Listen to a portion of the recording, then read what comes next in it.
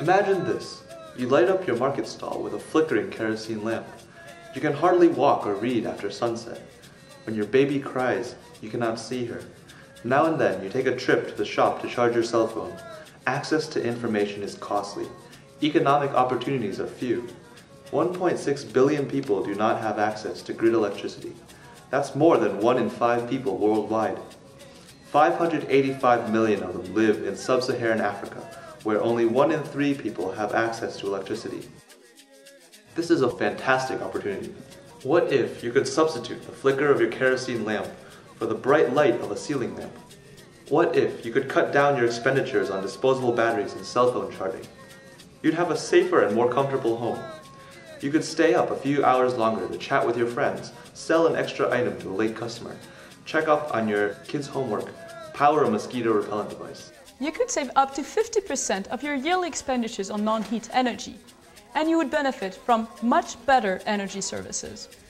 This is exactly the deal that Egg Energy is offering small businesses and low-income households in sub-Saharan Africa. With an international team of engineering and business students and graduates, we've put together an innovative solution to help combat the last mile distribution problem that plagues much of the developing world. In Tanzania, 86% of the people don't have access to electricity. Egg Energy provides an affordable, portable grid. We package electricity obtained from the grid or a decentralized renewable power plant into portable and rugged batteries. Each of our batteries can power three lights, a cell phone charger, and a radio for three to five nights before they need to be swapped. They are the size of a brick and weigh about four pounds.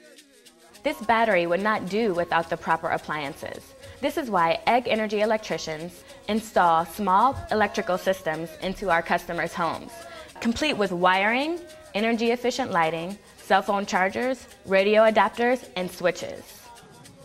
Egg Energy has been operating in Tanzania since November 2009. Our service currently benefits 1,500 people. In the words of one of our customers, now I can do everything.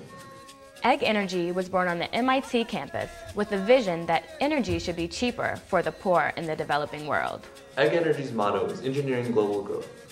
Our battery business is the first step in our goal of building a power grid from the ground up